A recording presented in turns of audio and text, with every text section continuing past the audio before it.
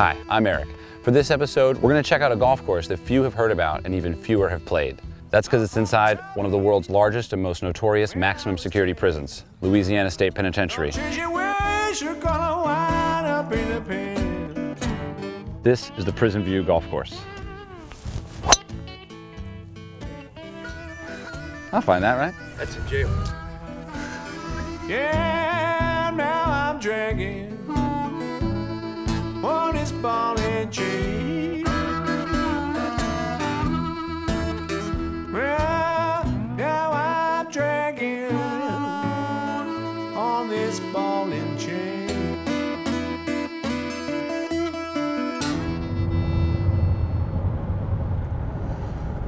So we're driving to the prison right now. We have about 30 minutes till we get there. From what we've read, sounds like this particular prison seems not a safe place.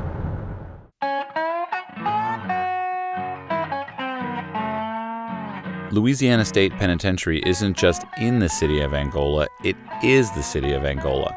Bigger than Manhattan, it's the largest maximum security prison in the United States, currently holding 6,300 offenders and 1,800 staff within its 28 square miles. The inmates live in one of several housing units throughout Angola, with the largest being Main Prison Complex. In this unit, we're housing 2,600 people. To give you some idea of truly how large Angola is, if you took main prison, moved it outside the gates of Angola, you'd still have the largest maximum security prison in the state with one of our housing units. Jeez. These two side-by-side units that you see are working cell blocks. Their custody status is maximum. Maximum. two, two men per cell and they go out and they work. Okay. The Re-Entry Club. Yeah, one of the reasons that there's no gang activity here on the Right. Warden Cain's watch is because of all these inmate organizations. Right. And uh, it actually helps fund the reentry program along with the warden's office. I mean, So along is it with just the a restaurant? It's a, it's a takeout. Can they earn money here? If they're eligible, and most of them are eligible for incentive pay, uh, we'll start them out at two cents an hour, max them out at 20 cents an hour. So at 27, 27 hours buys you a burger.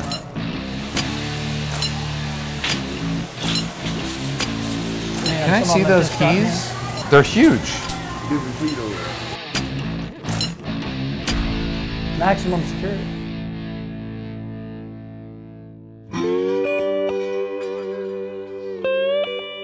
At Angola, prisoners can obtain jobs ranging from farming and manufacturing to entertainment and food preparation, or in Panos' case, groundskeeper for the Prison View golf course.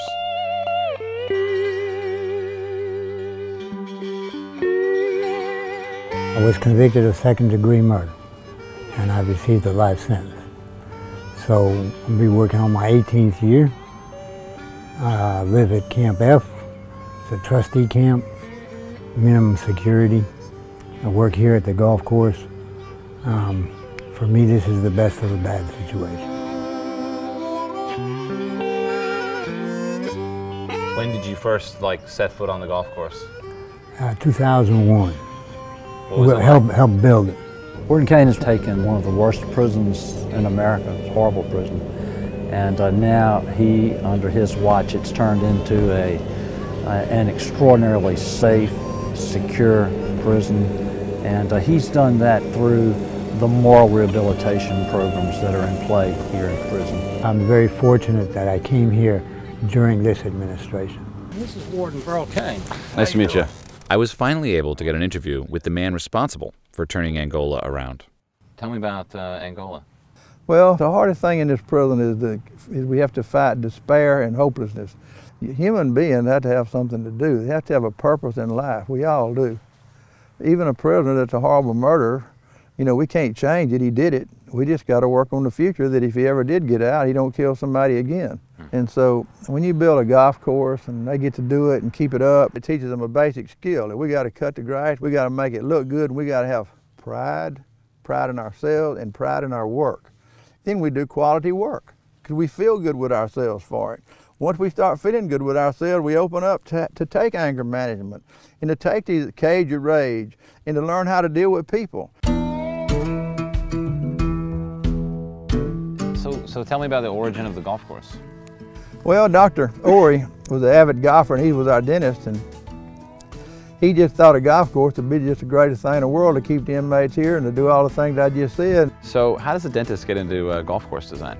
I went out and bought a book, Rees Jones, you know, how to build a golf course. When I, Warden Cain came by the house and asked me about what I thought after I'd studied it, I said, you don't understand how big a project this is. And he said, well, you don't understand what Angola is capable of doing. We said, well, we have rodeo, so we'll just have the recreation department generate revenue at the rodeo from concessions, and we're not going to use any tax dollars. We're just going to generate our own revenue and put this dude in. And you just got to show us how, because I don't know anything about golf. It's easy to draw on a piece of paper and design a golf course.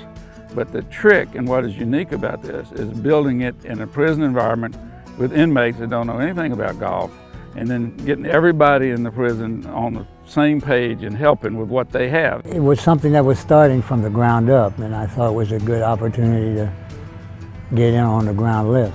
You know, I'd have 100 inmates out there and I'd be standing on a four-wheeler yelling at them what we want to do. He went home every night and read a book about how to build a golf course and then come back and told us in the morning what to do.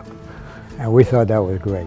It was very much a learning about people, learning about how Angola works, learning about what you can accomplish, learning the language, um, and was really an unbelievable experience. I don't play golf, so I didn't do this for me. Some would say that. It didn't happen. No golf for Burl. Anyway, anyway, uh, I don't have sure time. you don't want to try it? I did try one time, but it's not very cool for me to try. It seems like the ball just dribbles around there, you know. But uh, hey, look how it turned out. It took three years to complete Prison View Golf Course, and today I would be one of the rare non prison staff to get a chance to play. Do I look like I'm on the tax team or not? Uh, you might need a haircut and a haircut and a shave. wow, this definitely is the Prison View Golf Course. Check this out. Yeah. Nice ball. That is a fun tee shot.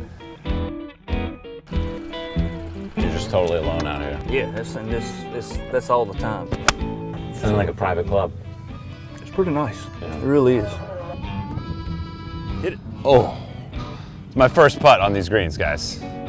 I got to keep my employees here. If I can keep these people that live here, 600 people in these houses, and get them to play golf here instead of leaving, and I have an emergency, then they can respond because they're right here on the golf course. If you hit a driver and you pull it a little bit left, Right. You're gonna go in the woods over here. And if All you right. push it a little to the right, then you go in this stuff. Do you guys here. ever call the woods jail? No. you heard that though. Yeah. We probably have said it, but we don't. We try to, even though we're playing on the prison, Yeah. this is kind of a getaway. You know. You try what I not to think about it. Yeah, we try to get away. We play golf. Right. We don't talk jail. Right. Good shot. If someone said that you could try golf, would you try it? Well, I'd try it, sure. But I mean, that's not a possibility here. Do you think they should be allowed to play golf? That's a good question. Oh. Psychologically, golf and tennis are the country club sports, you know, and and if we let them play golf or tennis, then that's going to get out there to the public. Well, they're just going up there to play golf and tennis. We have to share the feeling of that victim. Victims trump in our world, and we always put them first. I don't think I'd be a good golfer. Why? I probably don't have the patience for it, you know. It does take a lot of patience. so is your ideal scenario that this prison closes? My ideal scenario is we don't have victims and this prison could close. It won't ever happen. It's like fish. You can't catch them all, but you can dilute it and you can have less victims. But look, if we save one person from a knife at the throat, gun at the head, or being raped, it's worth my whole life.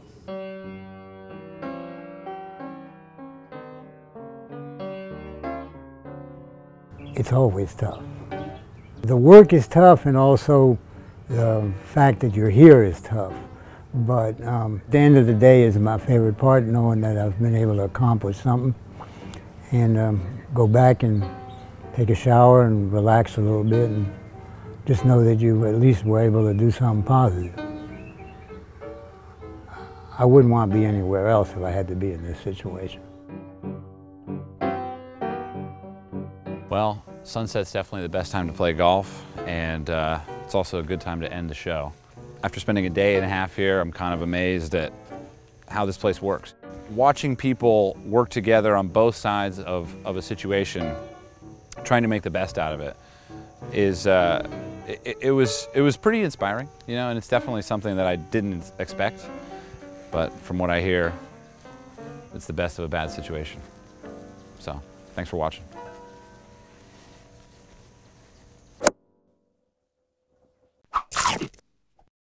What is that? That's a crawfish. Just on the golf course. Yeah, I can see down here. Yeah, see, after 18 holes of golf, we got something to go eat and we finish. Don't throw that thing at me. I'm serious. Hold it. Come on, man. Nah, man. Come on.